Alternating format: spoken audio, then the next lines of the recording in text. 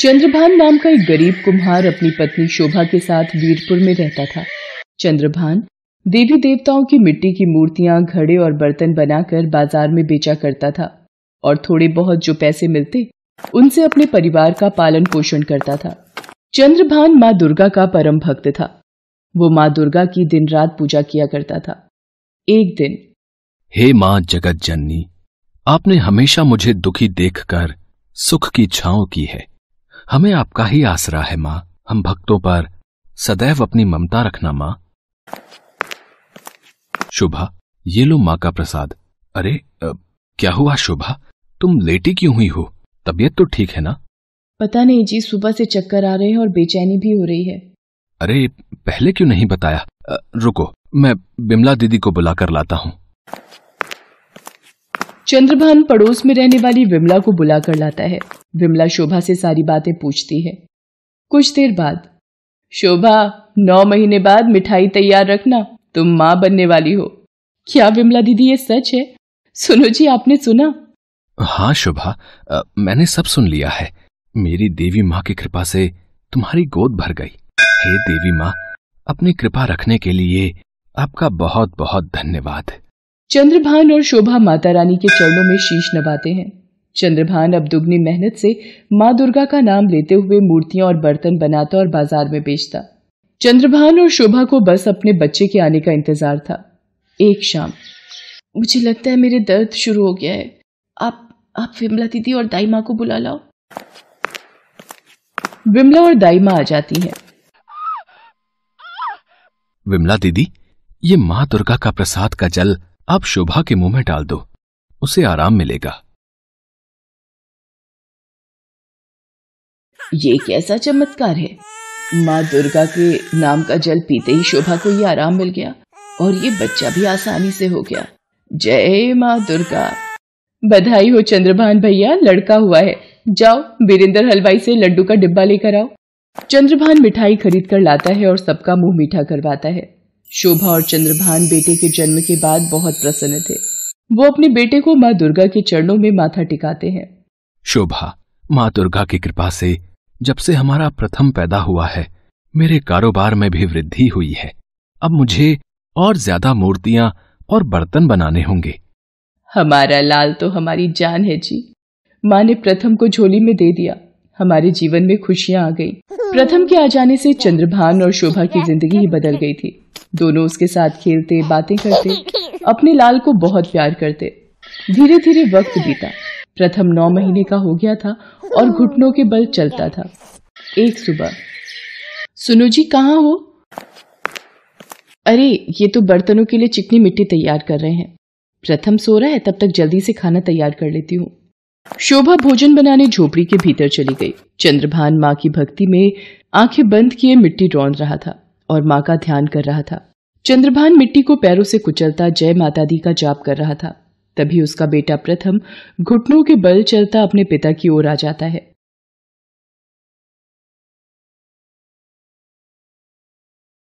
और अनजान पिता मिट्टी के साथ अपने कलेजे के टुकड़े को भी पैरों से मसलता जाता है। उसका बेटा पूरी तरह से मिट्टी में मसल चुका था। चंद्रभान के पैर लहूलुहान हो चुके थे, पर वो माँ दुर्गा की भक्ति में लीन, बेखबर अपने कार्य के प्रति लगाव में था। तभी शोभा आ जाती है। अरे, प्रथम को तुम्हें सुलाकर गई थी। कहाँ गया? कहीं इनके पास न खेल रहा हो। हे भगवान, ये आपने क्या अनर्थ किया? आँखें खोलो। आपके पैर खून से सने हुए क्यों हैं? आपने ये क्या कर दिया? हमारा लाल हमारा प्रथम मिट्टी में कुचल गया। नहीं ये नहीं हो सकता। मैंने अपने ही बेटे को मार दिया। ये मैंने क्या अनर्थ कर दिया?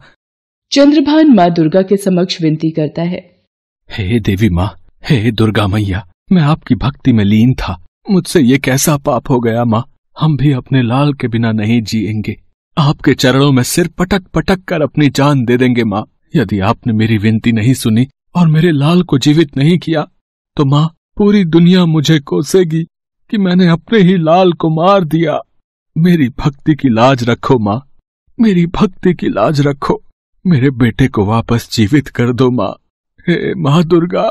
सुनो जी, माँ दुर्गा आपकी विनती ज़रूर सुनती हैं। उन्हें बोलो हमारा पुत्र लौटा दे। माँ हमारे पुत्र को जीवित कर दो माँ। हमारी रक्षा करो। चंद्रभान और शोभा माँ दुर्गा के चरणों में अपना सिर पटक पटक कर रोने लगते हैं। और माँ दुर्गा से प्रथम को जीवित करने की विनती करते हैं। माँ दुर्गा तो करुणा की देवी है। ममतामयी माँ है। वो अपने भक्तों को दुखी नहीं देख सकती। चंद्रभान और शोभा के करुण स्वर सुनकर माँ दुर्गा अपने विराट रूप में शेर पर सवार होकर प्रकट होती हैं। पुत्र चंद्रभान, पुत्री शोभा, तुम रो क्यों रहे हो? वो देखो, तुम्हारा पुत्र प्रथम बिल्कुल सुरक्षित है। माँ दुर्गा के चमत्कार से मिट्टी में एक बच्चे का आकार बन जाता है और माँ के चमत्कार से प्रथम जीवित होकर मिट्टी के ऊपर खेलने लगता है। मेरा लाल मेरा बच्चा मेरा प्रथम मैया आपकी जय हो। माँ दुर्गा आपने मेरे लाल को जीवित कर दिया। माँ आप शक्ति रूप आओ हे देवी माँ आपकी जय हो। आपकी जय हो माँ आपकी सदा ही जय हो। चंद्रभान और शोभा माँ के चमत्कार को देख खुशी से झूम उठते हैं। उनके घर का चिराग माँ के आशीर्वाद की लौ से फिर जल उठा था। माँ दुर्गा की भक्ति का जयकारा लगाते हुए चंद्रभान और शोभा माँ दुर्गा को शीश नवाते हैं। इसके पश्चात माँ दुर्गा आशीर्वाद देकर अंतर ध्यान हो जाती हैं। शोभा, माँ ने हमारी भक्ति की लाज बचा ली। आज उन्होंने हमारे प्रथम को नया जीवन दिया है। इसलिए हम प्रथम को माँ वैष्णो देवी के दर्शनों के लिए लेकर जाएँगे। उसके बाद चंद्रभान और शोभा अपने बेटे प्रथम को लेकर माँ वैष्णो देवी की यात्रा पर जाते हैं और माँ वैष्णो देवी गुफा के दर्शन करके अपनी झोली खुशियों से भरकर घर लौटते हैं।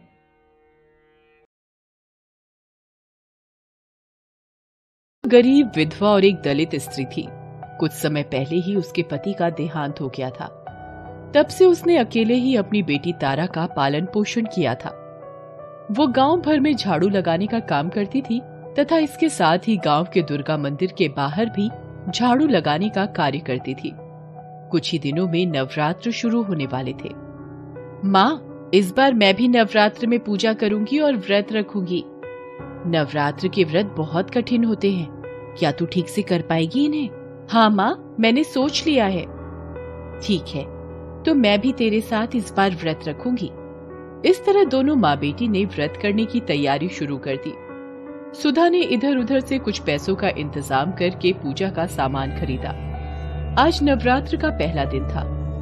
तुझे भूख तो नहीं लगी? लगी तो है, पर थोड़ी थोड़ी बस अब साँझ हो रहा है।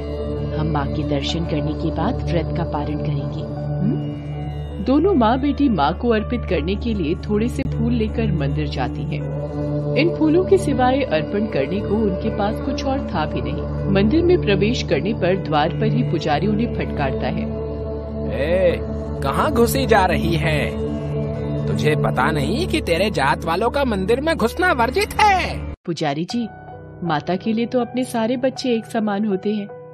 फिर ऐसा भेदभाव हमारे साथ ही क्यों किया जाता है? हमारा ही प्रवेश मंदिर में वर्जित क्यों है?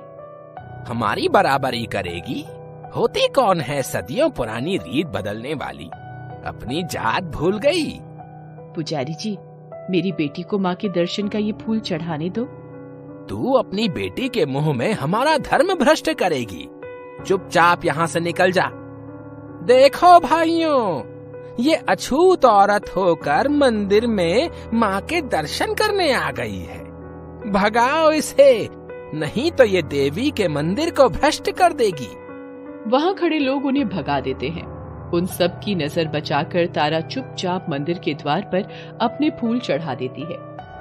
दर्शन न होने के कारण दोनों माँ बेटी भारी मन से घर लौट आती हैं। अगले दिन जब पुजारी मंदिर खोलता है तो देखता है कि कल के चढ़ाए सारे फूल मुरझा गए हैं मगर द्वार के पास पड़े फूल अभी भी ताजे हैं। आश्चर्य है। मंदिर तो मैंने अभी अभी खोला है। ये कल के चढ़ाए हुए फूल किस भक्त के हैं, जिनमें अभी भी ताजगी बाकी है? ये बात सारे गाँव में फैल जाती है। सब अपने आप को माता का भक्त साबित कर रहे थे। वे बता रहे थे कि फूल उनके द्वारा चढ़ाए गए हैं। इन सबसे बेखबर सुधा और तारा अपनी भक्ति में मगन थी। दोनों सच्चे मन से माता की पूजा करती थी। इसी तरह दिन बीतते गए और महाअष्टमी भी आ गई। सुधा और तारा ने माता को भोग लगाने के लिए थोड़ी सी पूरियाँ, चने और हलवा बनाया था। इन सब सामग्रियों को उसने बहुत ही मेहनत से इकट्ठा किया था। तारा, आ जाओ, व्रत के पारण का समय हो गया है। दोनों माँ बेटी अभी खाने बैठी ही थी कि बाहर से किसी बूढ़ी औरत की आवाज़ आती है। अरे, कोई इस बुढ़िया को भी कुछ खाने को दे दो। दो दिनों से कुछ नहीं खाया है मैंने। तारा और उसकी माँ बाहर देखते हैं। एक बेहद कमज़ोर और बूढ़ी औरत लाठी का सहारा लेकर वहाँ खड़ी थी। उसे देखकर उनके मन में दया उमड़ आती है। वो अपना सारा खाना उस बुढ़िया को खिला देती है। बुढ़िया खाना खाकर तृप्त हो जाती है तथा उनको एक छोटी सी पोटली देते हुए कहती है, जा, इसे अपने पूजा के स्थान पर रख दे और इसे विजयादशमी के दिन ही खोलना। जाके माता के दर्शन कर ले तुम्हारे सारे दुख दूर हो जाएँगे। माँ बेटी दोनों फिर थोड़े से फूल लेकर डरते डरते मंदिर पहुँचते हैं। अरे अछूत कहीं की तुम दोनों फिर यहाँ आ गई। ये अछूत होते ही ऐसे हैं जो एक बार में बात ही नहीं समझते। पुजारी जी माता ने कभी आकर मना नहीं किया हम लोगों को? आपके जैसे धर्म के ठेकेदार ही हमें मंदिर जाने से रोकते हैं। मुझे इतना पता है कि माता के दरबार में सब बराबर होते हैं। उनकी नज़रों में कोई छोटा बड़ा नहीं होता। अब तू मुझे पंडिताई का पाठ पढ़ाएगी? वो मंदिर में आए और लोगों की ओर देखकर कहता है। अरे भाइयों देखो ये अछूत फिर से मंदिर में घुसने आ गई है। इससे पहले ये देवी के मंदिर को दूषित करे उससे पहले इस कचरे को निकाल बाहर करो। सारे लोग उन्हें वहाँ से खदेड़ने लगते हैं, जैसे वो कोई जानवर हो। इस भाग दौड़ में तारा के फूल मंदिर के प्रांगण में गिर जाते हैं। अगले दिन जब लोग मंदिर में जाते हैं तो वो देखते हैं कि तारा के गिरे हुए फूल अभी तक ताजे हैं। लगता है ये माँ बेटी ज़रूर कोई डायन या जादूगरनिया है। उन्होंने ही मंदिर पर जादू किया हुआ है। भाइयों उन्हें पकड़कर यहाँ लाना होगा। उनका फैसला यहाँ देवी के सामने होगा। लोग दोनों माँ बेटी को पकड़कर मंदिर लाते हैं।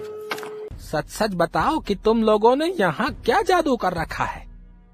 हम यहाँ इतनी भक्ति से माँ की पूजा करते हैं हमारे फूल तो मुरझा जाते हैं। और तुम अछूत जात की औरतें जो मंदिर में प्रवेश करने के लायक नहीं हैं, उसके फूल कैसे ताजे रहते हैं?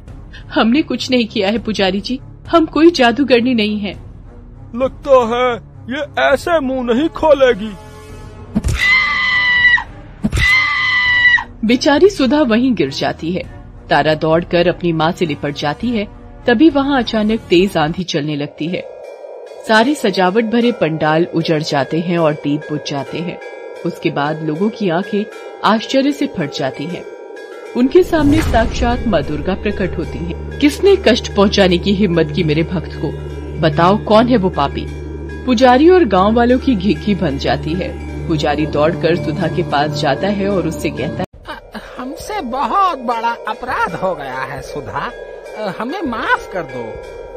उधर माँ का क्रोध जारी था। तुम लोग क्या सोचते हो कि भक्ति सिर्फ़ इस सजावट और पंडाल से ही होती है?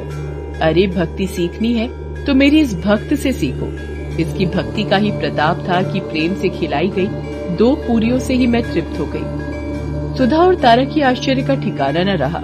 दोनों के मन में एक ही बात चल रही थी। क्या उस बुढ़िया के भेष में स्वयं माँ दुर्गा थी? फिर तारा और सुधा माँ के सामने हाथ जोड़कर खड़ी हो जाती हैं और कहती हैं, हे ममता मई दयालु माँ हम सब तुम्हारे बच्चे हैं। मैं इन सब के लिए आपसे क्षमादान मांगती हूँ। हमारे पापों को क्षमा करें और हमें अपने चरणों में शरण दो। सुधा और तारा के इस प्रकार माफ़ी मांगने से देवी का क्रोध शांत हो जाता है। इसके साथ ही आंधी थम जाती है और बुझे हुए दीपक भी अपने आप फिर से जल जाते हैं। देखा इसे कहते हैं सच्ची भक्ति। तुम लोगों ने भक्ति को भी जात बिरादरी में बांट रखा है। अरे मूर्खों, भक्ति को कभी भी जात बिरादरी में नहीं तोला जा सकता है।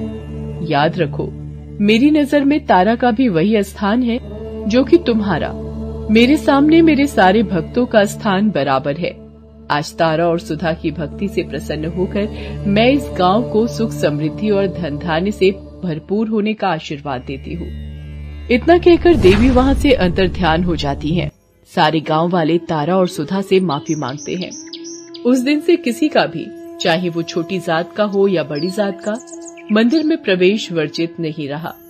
आज विजयादशमी थी। उस बुढ़िया जो कि स्वयं माँ का रूप थी के कहे अनुसार, जब सुधा और तारा ने वह पोटली खोली तो उसमें से बहुत सारे हीरे, जवाहरात और माणिक निकले। दोनों की आँखों में आँसू आ गए और मन माँ के प्रति श्रद्धा से भर गया। उस दिन से उनके जीवन में कोई कमी नहीं रही। सुधा गरीब विधवा और एक दलित स्त्री थी। कुछ समय पहले ही उसके पति का देहांत हो गया था। तब से उसने अकेले ही अपनी बेटी तारा का पालन पोषण किया था। वो गाँव भर में झाड़ू लगाने का काम करती थी तथा इसके साथ ही गाँव के दुर्गा मंदिर के बाहर भी झाड़ू लगाने का कार्य करती थी। कुछ ही दिनों में नवरात्र शुरू होने वाले थे। माँ, इस बार मैं भी नवरात्र में पूजा करूँगी और व्रत रखूँगी। नवरात्र के व्रत बहुत कठिन होते हैं। क्या तू ठीक से कर पाएगी इन्हें? हाँ माँ, मैंने सोच लिया है। ठीक है तो मैं भी तेरे साथ इस बार व्रत रखूँगी। इस तरह दोनों माँ बेटी ने व्रत करने की तैयारी शुरू कर दी। सुधा ने इधर उधर से कुछ पैसों का इंतज़ाम करके पूजा का सामान खरीदा। आज नवरात्र का पहला दिन था। तुझे भूख तो नहीं लगी? लगी तो है। पर थोड़ी थोड़ी। बस अब साँझ हो रहा है। हम माँ के दर्शन करने के बाद व्रत का पारण करेंगे। दोनों माँ बेटी माँ को अर्पित करने के लिए थोड़े से फूल लेकर मंदिर जाती हैं। इन फूलों के सिवाय अर्पण करने को उनके पास कुछ और था भी नहीं। मंदिर में प्रवेश करने पर द्वार पर ही पुजारी उन्हें फटकारता है। ए, कहाँ घुसी जा रही है? तुझे पता नहीं कि तेरे जात वालों का मंदिर में घुसना वर्जित है? पुजारी जी माता के लिए तो अपने सारे बच्चे एक समान होते हैं। फिर ऐसा भेदभाव हमारे साथ ही क्यों किया जाता है? हमारा ही प्रवेश मंदिर में वर्जित क्यों है? हमारी बराबरी करेगी? होती कौन है सदियों पुरानी रीत बदलने वाली? अपनी जात भूल गई। पुजारी जी मेरी बेटी को माँ के दर्शन का ये फूल चढ़ाने दो। तू अपनी बेटी के मुँह में हमारा धर्म भ्रष्ट करेगी। चुपचाप यहाँ से निकल जा। देखो भाइयों, ये अछूत औरत होकर मंदिर में माँ के दर्शन करने आ गई है। भगाओ इसे, नहीं तो ये देवी के मंदिर को भ्रष्ट कर देगी। वहाँ खड़े लोग उन्हें भगा देते हैं। उन सब की नज़र बचाकर तारा चुपचाप मंदिर के द्वार पर अपने फूल चढ़ा देती है। दर्शन न होने के कारण दोनों माँ बेटी भारी मन से घर लौट आती हैं। अगले दिन जब पुजारी मंदिर खोलता है तो देखता है कि कल के चढ़ाए सारे फूल मुरझा गए हैं मगर द्वार के पास पड़े फूल अभी भी ताजे हैं। आश्चर्य है। मंदिर तो मैंने अभी अभी खोला है। ये कल के चढ़ाए हुए फूल किस भक्त के हैं जिनमें अभी भी ताजगी बाकी है? ये बात सारे गाँव में फैल जाती है। सब अपने आप को माता का भक्त साबित कर रहे थे। वे बता रहे थे कि फूल उनके द्वारा चढ़ाए गए हैं। इन सबसे बेखबर सुधा और तारा अपनी भक्ति में मगन थी। दोनों सच्चे मन से माता की पूजा करती थी। इसी तरह दिन बीतते गए और महाअष्टमी भी आ गई। सुधा और तारा ने माता को भोग लगाने के लिए थोड़ी सी पूरियाँ, चने और हलवा बनाया था। इन सब सामग्रियों को उसने बहुत ही मेहनत से इकट्ठा किया था। तारा, आ जाओ, व्रत के पारण का समय हो गया है। दोनों माँ बेटी अभी खाने बैठी ही थी कि बाहर से किसी बूढ़ी औरत की आवाज़ आती है। अरे, कोई इस बुढ़िया को भी कुछ खाने को दे दो। दो दिनों से कुछ नहीं खाया है मैंने। तारा और उसकी माँ बाहर देखते हैं। एक बेहद कमज़ोर और बूढ़ी औरत लाठी का सहारा लेकर वहाँ खड़ी थी। उसे देखकर उनके मन में दया उमड़ आती है। वो अपना सारा खाना उस बुढ़िया को खिला देती है। बुढ़िया खाना खाकर तृप्त हो जाती है तथा उनको एक छोटी सी पोटली देते हुए कहती है जा इसे अपने पूजा के स्थान पर रख दे और इसे विजयादशमी के दिन ही खोलना। जाके माता के दर्शन कर ले तुम्हारे सारे दुख दूर हो जाएँगे माँ बेटी दोनों फिर थोड़े से फूल लेकर डरते डरते मंदिर पहुँचते हैं। अरे अछूत कहीं की तुम दोनों फिर यहाँ आ गई? ये अछूत होते ही ऐसे हैं। जो एक बार में बात ही नहीं समझते। पुजारी जी माता ने कभी आकर मना नहीं किया हम लोगों को? आपके जैसे धर्म के ठेकेदार ही हमें मंदिर जाने से रोकते हैं। मुझे इतना पता है कि माता के दरबार में सब बराबर होते हैं। उनकी नज़रों में कोई छोटा बड़ा नहीं होता। अब तू मुझे पंडिताई का पाठ पढ़ाएगी? वो मंदिर में आए और लोगों की ओर देखकर कहता है। अरे भाइयों देखो ये अछूत फिर से मंदिर में घुसने आ गई है। इससे पहले ये देवी के मंदिर को दूषित करे, उससे पहले इस कचरे को निकाल बाहर करो। सारे लोग उन्हें वहाँ से खदेड़ने लगते हैं जैसे वो कोई जानवर हो। इस भाग दौड़ में तारा के फूल मंदिर के प्रांगण में गिर जाते हैं। अगले दिन जब लोग मंदिर में जाते हैं तो वो देखते हैं कि तारा के गिरे हुए फूल अभी तक ताजे हैं।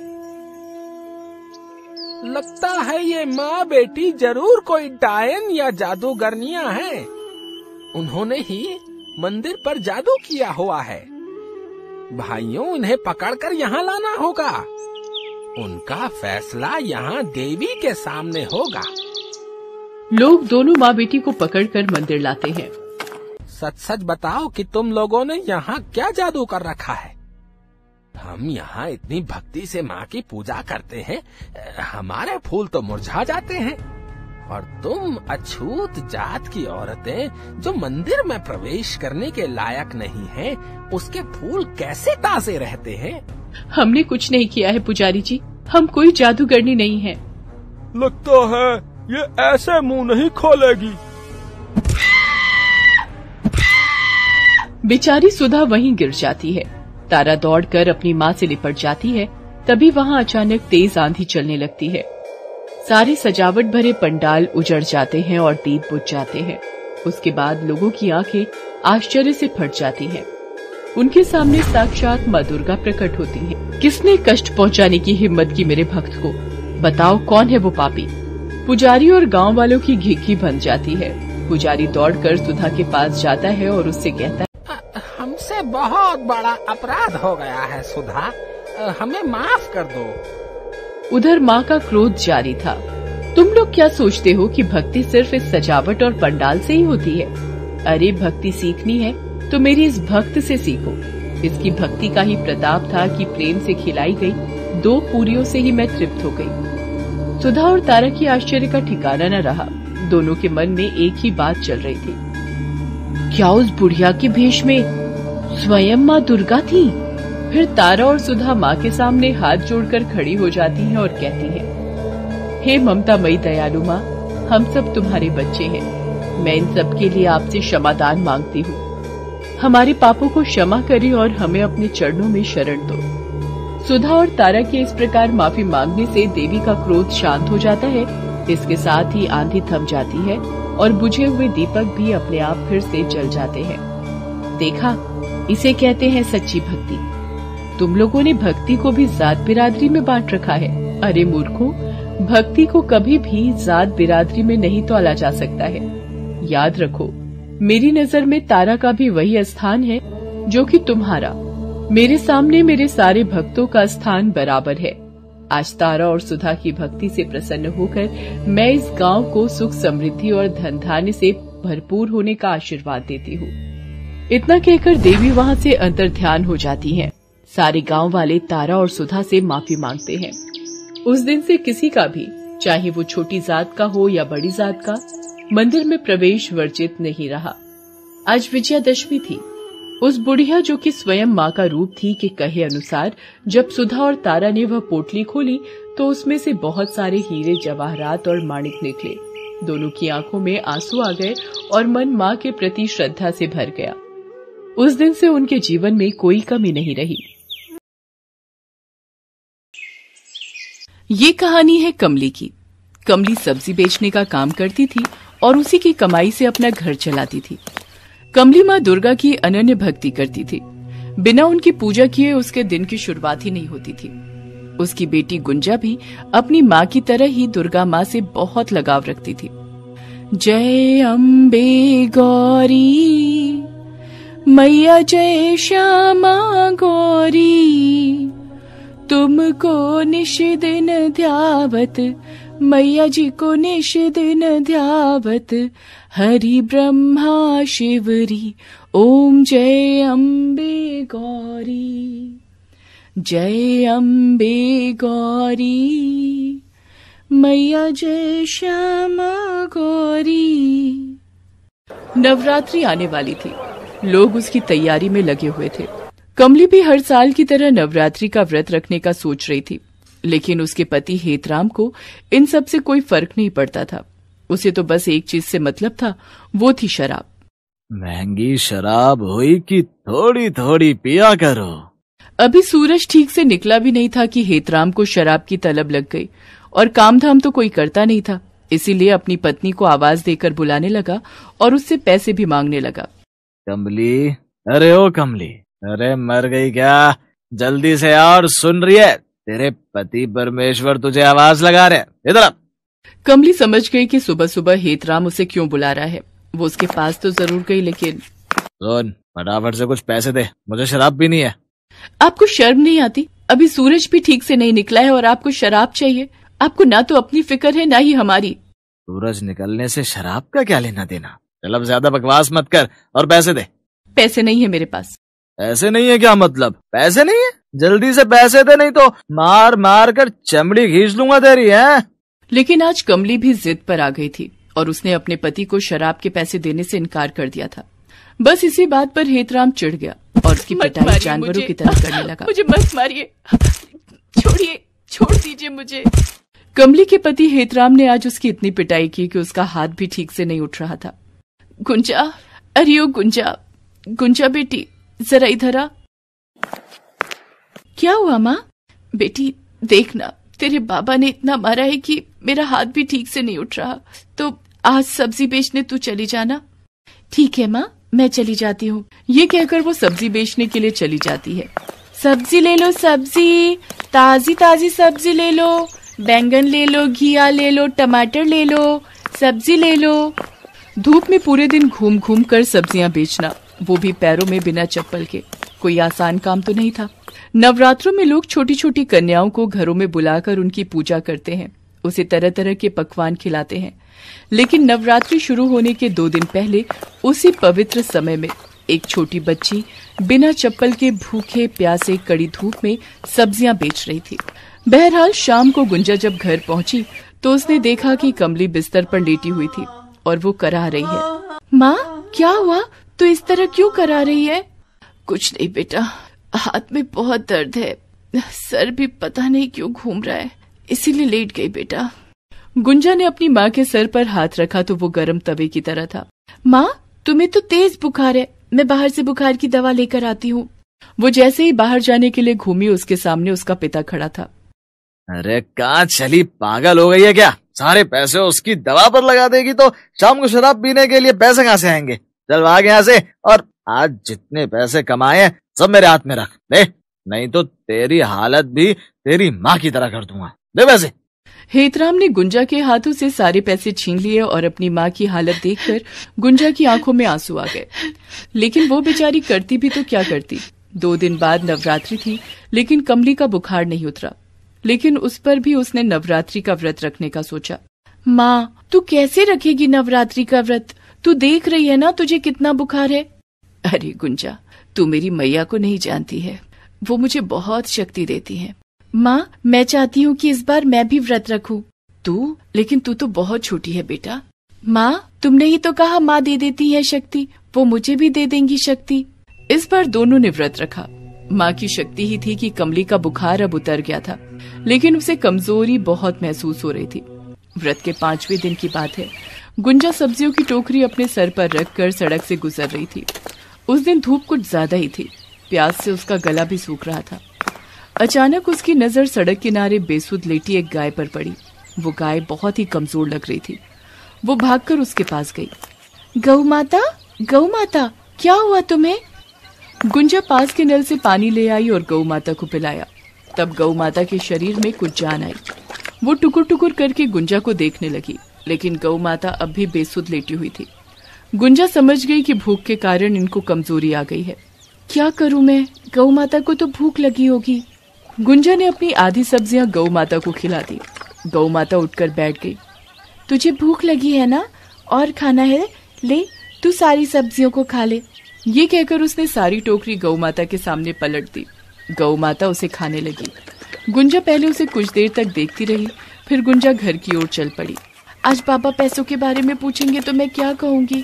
आज तो मेरी खूब पिटाई होगी। कोई बात नहीं, लेकिन मैंने कोई गलत काम थोड़ी किया है। गौ माता को खाना ही तो खिलाया है। गुंजा को जिस बात का डर था वही हुआ। भूखी प्यासी गुंजा को जहाँ प्यार और भोजन की ज़रूरत थी, उसके पिता ने उसे मारना शुरू कर दिया। लेकिन तभी एक घटना वहाँ पर घटी। तभी उसके दरवाजे पर ज़ोर ज़ोर से गाय की आवाज़ आने लगी। यही नहीं, दरवाजे पर कोई दस्तक भी देने लगा। हेतराम ने दरवाज़ा खोला और जैसे ही उसने दरवाज़ा खोला, उसके सामने एक लेडी इंस्पेक्टर खड़ी थी, जिसे देखकर हेतराम की हालत पतली हो गई। इंस्पेक्टर के ठीक पीछे एक गाय भी खड़ी थी।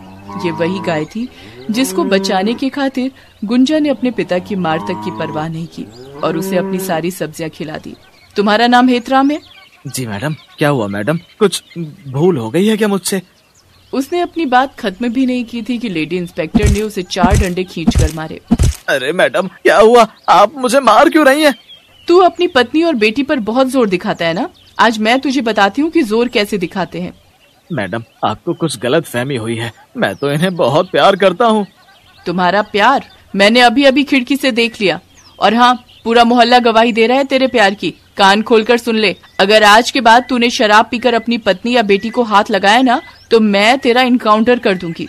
अरे नहीं नहीं मैडम मैं कुछ नहीं करूँगा भगवान की कसम। उसके बाद लेडी इंस्पेक्टर ने गुंजा को अपने पास बुलाया और कहा बेटी तुम्हारा नाम दुर्गा है। तुमने जब सारी सब्ज़ियाँ खिला दी तब मैं वहीं पर दूर खड़ी होकर तुम्हें देख रही थी और सोच रही थी कि इस लड़की का दिल कितना अच्छा है। तुमने अपनी कमाई का नहीं सोचा और सब कुछ गाय को दे दिया। मैं तुम्हारा पीछा करते करते यहाँ तक आ गई और मेरे पीछे पीछे ये गौ माता भी। बेटी लोग व्रत रखते हैं, उपवास रखते हैं, लेकिन दिल में दया नहीं रखते। तू सबसे अलग है और सबसे प्यारी।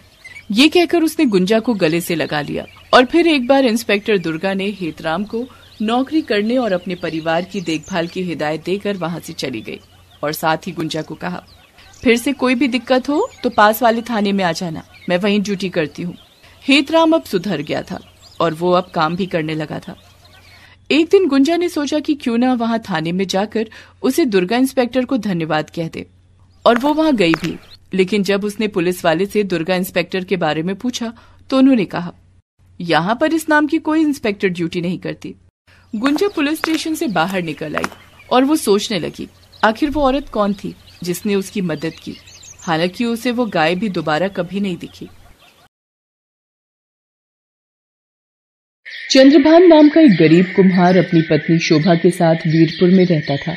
चंद्रभान, देवी देवताओं की मिट्टी की मूर्तियाँ, घड़े और बर्तन बनाकर बाज़ार में बेचा करता था और थोड़े बहुत जो पैसे मिलते, उनसे अपने परिवार का पालन पोषण करता था।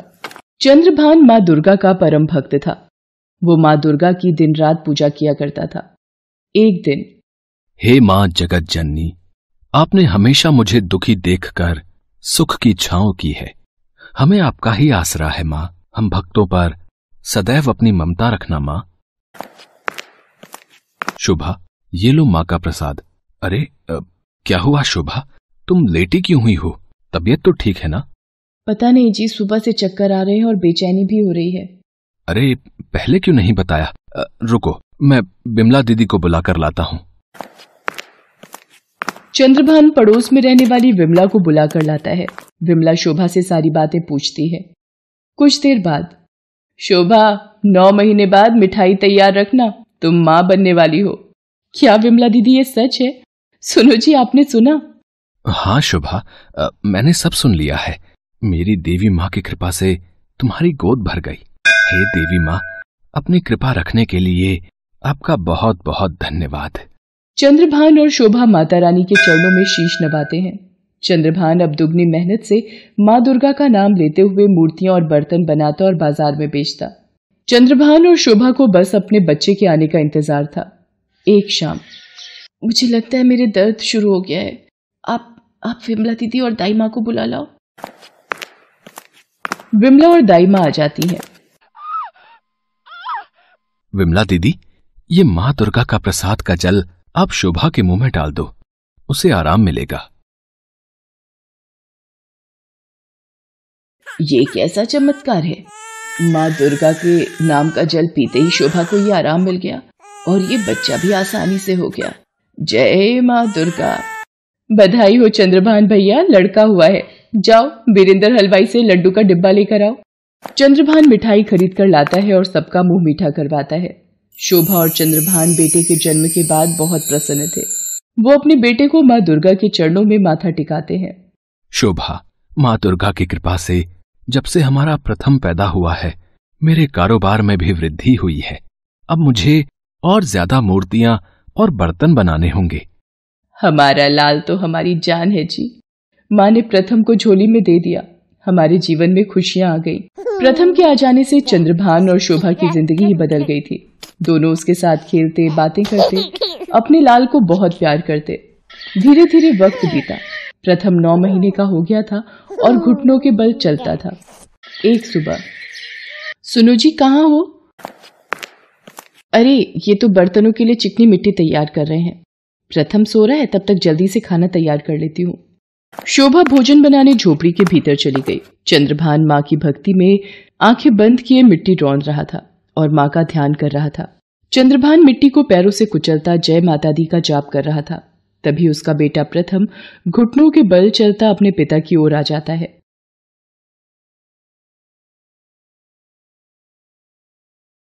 और अनजान पिता मिट्टी के साथ अपने कलेजे के टुकड़े को भी पैरों से मसलता जाता है। उसका बेटा पूरी तरह से मिट्टी में मसल चुका था।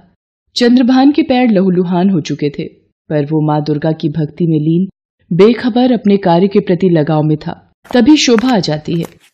अरे, प्रथम को तो मैं सुला कर गई थी। कहा गया? कहीं इनके पास न खेल रहा हो। हे भगवान, ये आपने क्या अनर्थ किया? आँखें खोलो। आपके पैर खून से सने हुए क्यों हैं? आपने ये क्या कर दिया? हमारा लाल, हमारा प्रथम मिट्टी में कुचल गया। नहीं, ये नहीं हो सकता। मैंने अपने ही बेटे को मार दिया। ये मैंने क्या अनर्थ कर दिया? चंद्रभान माँ दुर्गा के समक्ष विनती करता है। हे देवी माँ हे दुर्गा मैया मैं आपकी भक्ति में लीन था। मुझसे ये कैसा पाप हो गया माँ? हम भी अपने लाल के बिना नहीं जिएँगे। आपके चरणों में सिर पटक पटक कर अपनी जान दे देंगे माँ। यदि आपने मेरी विनती नहीं सुनी और मेरे लाल को जीवित नहीं किया तो माँ पूरी दुनिया मुझे कोसेगी कि मैंने अपने ही लाल को मार दिया। मेरी भक्ति की लाज रखो माँ। मेरी भक्ति की लाज रखो। मेरे बेटे को वापस जीवित कर दो, माँ। हे माँ दुर्गा। सुनो जी, माँ दुर्गा आपकी विनती ज़रूर सुनती हैं। उन्हें बोलो हमारा पुत्र लौटा दे। माँ हमारे पुत्र को जीवित कर दो, माँ। हमारी रक्षा करो। चंद्रभान और शोभा माँ दुर्गा के चरणों में अपना सिर पटक पटक कर रोने लगते हैं और माँ दुर्गा से प्रथम को जीवित करने की विनती करते हैं। माँ दुर्गा तो करुणा की देवी हैं। ममतामयी माँ है। वो अपने भक्तों को दुखी नहीं देख सकती। चंद्रभान और शोभा के करुण स्वर सुनकर माँ दुर्गा अपने विराट रूप में शेर पर सवार होकर प्रकट होती हैं। पुत्र चंद्रभान, पुत्री शोभा, तुम रो क्यों रहे हो? वो देखो, तुम्हारा पुत्र प्रथम बिल्कुल सुरक्षित है। माँ दुर्गा के चमत्कार से मिट्टी में एक बच्चे का आकार बन जाता है और माँ के चमत्कार से प्रथम जीवित होकर मिट्टी के ऊपर खेलने लगता है। मेरा लाल मेरा बच्चा मेरा प्रथम मैया आपकी जय हो। माँ दुर्गा आपने मेरे लाल को जीवित कर दिया। माँ आप शक्ति रूपा हो। हे देवी माँ आपकी जय हो आपकी जय हो माँ आपकी सदा ही जय हो। चंद्रभान और शोभा माँ के चमत्कार को देख खुशी से झूम उठते हैं। उनके घर का चिराग माँ के आशीर्वाद की लौ से फिर जल उठा था।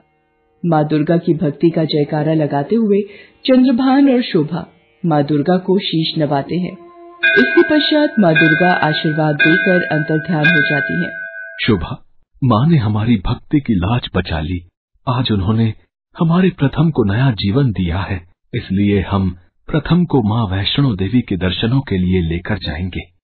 उसके बाद चंद्रभान और शोभा अपने बेटे प्रथम को लेकर माँ वैष्णो देवी की यात्रा पर जाते हैं और माँ वैष्णो देवी गुफा के दर्शन करके अपनी झोली खुशियों से भरकर घर लौटते हैं। माधवपुर गाँव में सोनिया नाम की एक लड़की अपने माता पिता के साथ रहती थी। कुछ समय बाद सोनिया की शादी रामपुर गाँव के रहने वाले किशोर से हो जाती है।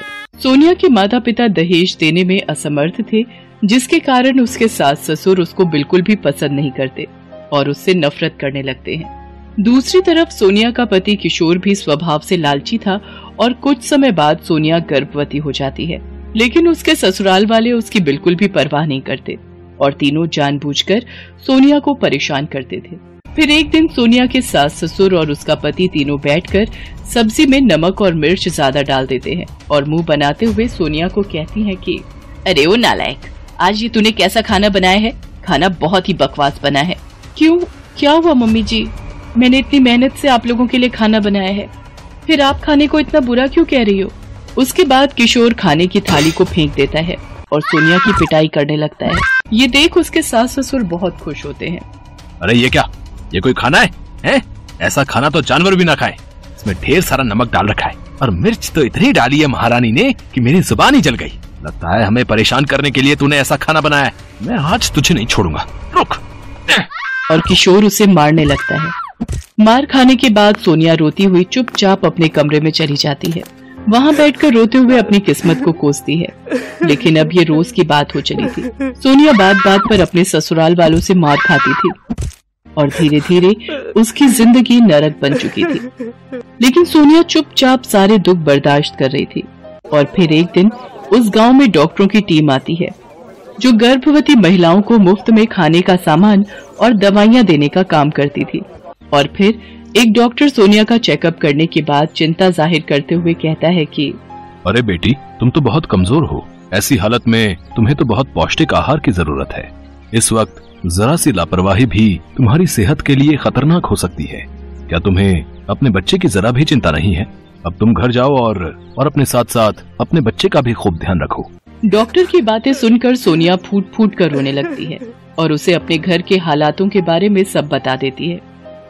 सोनिया की बात सुनकर डॉक्टर को उस पर बहुत तरस आता है और फिर वो सोनिया को खाने के लिए ढेर सारे फलों की टोकरी और पौष्टिक आहार देता है।